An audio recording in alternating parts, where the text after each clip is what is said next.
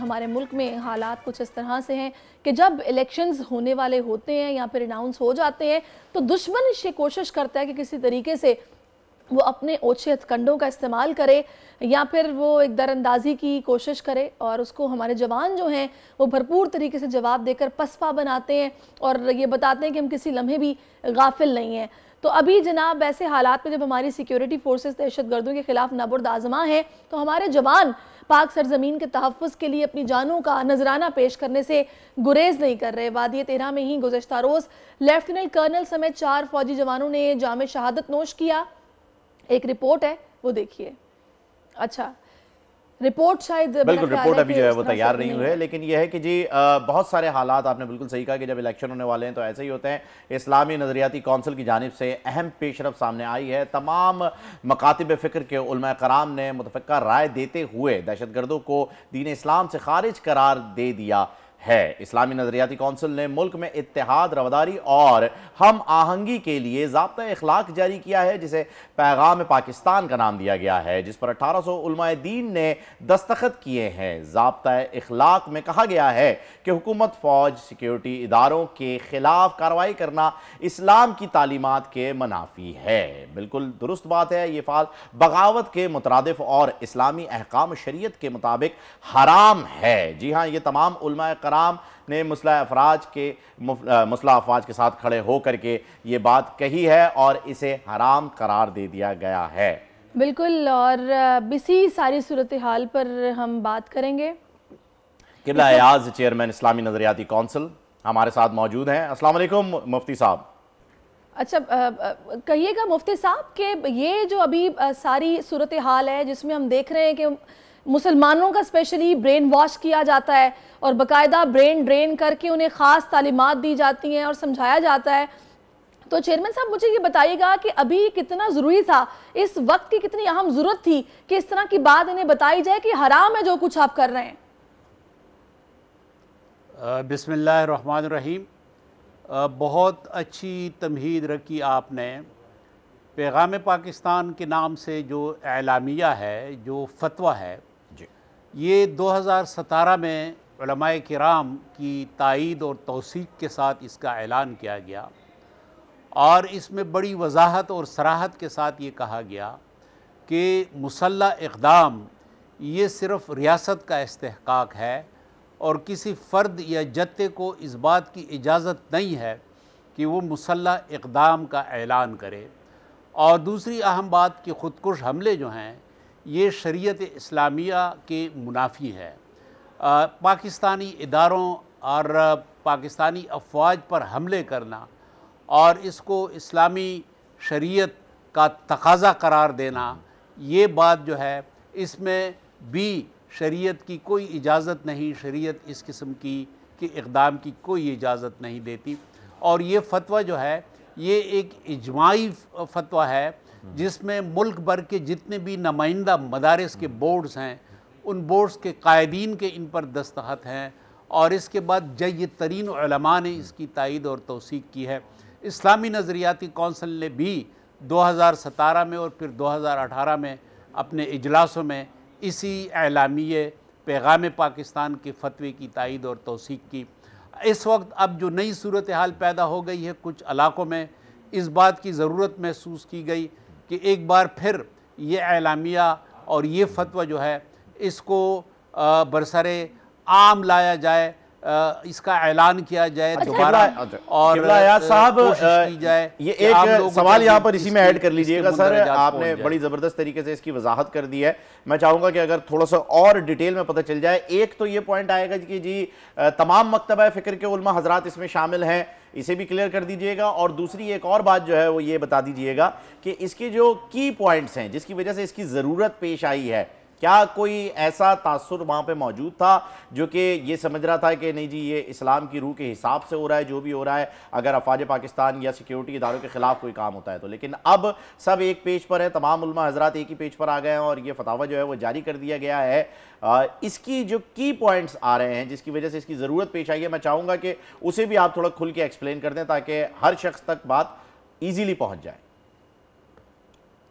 जी इस खत्े में आप दहशत गर्दी मुसल्ला इकदाम और इस किस्म के जो काम थे उनकी तारीख़ अगर आप देखें तो उसका नुक़ अरूज आपको मिलेगा। आर्मी पब्लिक स्कूल पिशार पर हमला कि जहाँ पे छोटे छोटे बच्चों को शहीद किया गया कत्ल किया गया इस्लाम के नाम पर। अल्लाह अकबर के नारे लगाकर और कलिमा शहादत पढ़कर और इस तरीके से एक बहुत बड़ी हैजान की कैफियत पैदा हो गई। आपको याद होगा कि इसके बाद पूरे मुल्क की क़्यादत ने सिविल क़्यादत ने और आस्करी क़्यादत ने पिशावर में एक मुतफ़ा इज्तम किया और इसके नतीजे में नेशनल एक्शन प्लान यानी कौमी अमल का एक मंसूबा बना। जिसके नतीजे में पैगाम पाकिस्तान को तश्कील दिया गया और इस पर तमाम जयद कराम हर मकतब फ़िक्र के, जितने भी मदारस के बोर्ड्स हैं, दीनी मदारस के, उनके नुमाइंदा कराम के दस्तखत आए। तो इस तरीके से ये जो फतवा है, इसको यूँ समझे कि एक इजमा की हैसियत हासिल है और उन्नीस सौ तिरपन के बाईस निकात के, फिर उन्नीस सौ तिहत्तर का आइन इसके बाद अगर कोई मुतफ़ दस्तावेज़ है तो ये पैगाम पाकिस्तान है जिसमें मुसल्ह इकदाम के बारे में ये फतवा दिया गया कि ये हक जो है ये प्रीरोगेटिव जो है ये मनोपली है सिर्फ़ रियासत की और रियासत के अलावा कोई प्राइवेट फ़र्द या प्राइवेट जत्था ये ऐलान नहीं कर सकता कि किसी के ख़िलाफ़ बशमूल हमारे पाकिस्तानी इदारे उनके खिलाफ कोई फौजी कोई मुसल्ला इकदाम करे। अच्छा तो इस तनाजुर में ये की बिल्कुल आपने वजह फरमाया। मुझे ये बताएगा कि ये फतवा ठीक है, ये अभी आ गया इससे पहले भी हमने देखा है कि उलमा कराम ने अपनी ज़िम्मेदारी का जो मुजाहरा करते हुए पूरी तरह से कोशिश की है कि समझाया जाए, काउंसलिंग की जाए, आवाम की, उन्होंने बताया जाए क्या ठीक है कि गलत है। लेकिन इसके बावजूद इस तरह के वाकयात जो तवातुर के साथ होते चले आ रहे हैं, ये कौन से अनासर हैं जो कार फरमाए और इसके खिलाफ काम कर रहे हैं? यकीनन पाकिस्तान जो है ये एक जजीरा तो नहीं है। पाकिस्तान के आसपास ममालिक हैं और हम एक ख़त्े का हिस्सा हैं। तो ख़त्े के हालात यकीनन पाकिस्तान के ऊपर असरानंदाज होते हैं और चूँकि पाकिस्तान के अंदर इस तरह की कोई सेंट्रल अथॉरिटी मरकज़ी अथॉरिटी का तस्वर नहीं है जिस तरह बाज़ ममालिक में है कि जहाँ पे फिर निज़ाम जो है उसमें जो हमारे जमहूरी अकदार हैं उसके बरक्स वहाँ पे एक सेंट्रल अथॉरिटी होती है। हमारे यहाँ चूँकि एक जमहूरी अकदार हैं और मीडिया आज़ाद है, सोशल मीडिया भी आज़ाद है तो इस तरीके से मुख्तलफ़ दलाइल जो हैं या मुख्तलिफ़ लोगों के नज़रियात जो हैं, उनके लिए आम आदमी जो है, वो वलनरेबल है और इस तरीके से फिर कुछ लोगों पर वो अफकार और वो ख्याल भी असरानंदाज हो जाते हैं। तो फिर इस किस्म के इकदाम सामने आते हैं। लेकिन इस बात की ज़रूरत है कि कराम जो हमारे जयद कराम हैं, उनके साथ मुसलसल रबता रखा जाए और पैगाम पाकिस्तान के नाम से ये जो फतवा दो हज़ार सतारह में आया है, इसकी भरपूर तशहर जारी रखी जाए। ज़बरदस्त। अच्छा किबला अयाज साहब, यहाँ पर एक पॉइंट ये भी आता है जिसकी बहुत ज़रूरत है कि कराम जब एक पेज पर मौजूद हैं तो वो इस पर भी जो है वो ज़रूर काम करें कि जहाँ आपने ज़िक्र किया हमारे पड़ोसी ममालिक का कि हम जजीरे में तो नहीं रहते, हमारे पड़ोसी ममालिक हैं तो वहाँ काम हो रहा है। और ये जो माइंड सेट बनाया जा रहा है, ये जो ब्रेन वॉश किया जा रहा है, ये वहाँ से तासर आ रहा है, यहाँ। अब जो मदारस जो कि यहाँ पर फतवा दे रहे हैं इस चीज़ के ख़िलाफ़ वहाँ पर भी कुछ ऐसे मदारस हैं जहाँ पर इसकी ट्रेनिंग दे करके उन्हें यहाँ पर भेजा जा रहा है। तो क्या ऐसी भी कोई बात हुई है, ऐसा भी कोई सिलसिला हुआ है कि इस तासर को ख़त्म करने के लिए एक कोई कैंपेन चलाई जाए और तालीमी एतबार से, यानी बचपन से ही जो है वो बच्चों को ये बताया जाए कि क्या सही है और क्या गलत है?